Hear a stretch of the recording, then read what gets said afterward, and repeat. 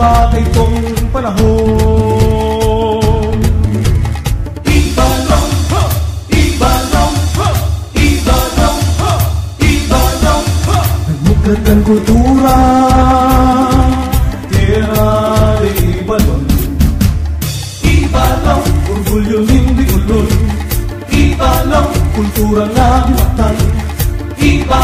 hali pagkikuburan Ibalang sa tuyang ginikanan Runakan kami ko lang pagkasarano Makakamtan